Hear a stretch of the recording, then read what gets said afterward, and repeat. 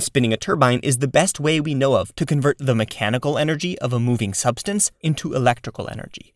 Aside from solar panels, pretty much all our electricity comes from spinning turbines. Wind turbines and water turbines are the most obvious, but even our coal, gas, and nuclear power plants use turbines. The fuel is just there to heat water into steam that can flow and spin a turbine.